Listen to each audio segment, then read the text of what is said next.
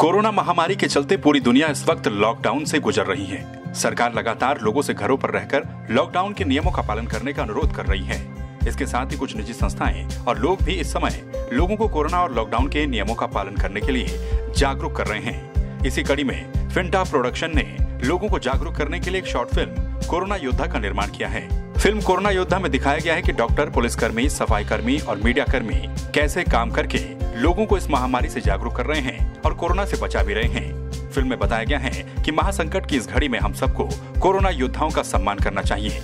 इस फ़िल्म में बॉलीवुड के जाने माने कलाकार शुभा सक्सेना, हिमानी शिवपुरी, सुनील पाल, जावेद, सोनिका गिल जैसे मज़े हुए कलाकार नज़र आ रहे हैं। उन्होंने अपने मैसेज के द्वारा लोगों को संबोधित करते हुए उनसे स्वस्थ रहने और सुरक्षित रहने की अपील की है। इस फ़िल्म में काम किया है अशोक कालरा, आशिका गुप्ता, प्रेरणा भट्ट, राजकुमार कन्नौजिया, अक्षय वर्मा, कुमार राजेश, बद्री शर्मा, मेधांश कन्नौजिया अधिरिजा वर्मा, पवन शर्मा, योगराज शर्मा, मोहित विज ने।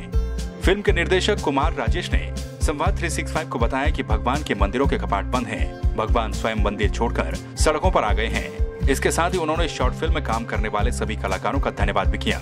उन्होंने इस फ़िल्म को ज़्यादा से ज़्यादा लोगों को देखने का आह्वान भी किया। इस फ़िल्म को साहिल कुमार ने एडिट किया है। फिंटा प्रोडक्शन के बैनर तले बनी शॉर्ट फ़िल्म, कोरोना योद्धा, लोगों को जागरूक करने के साथ साथ कोरोना वॉरियर्स के काम को भी सलाम कर रही है।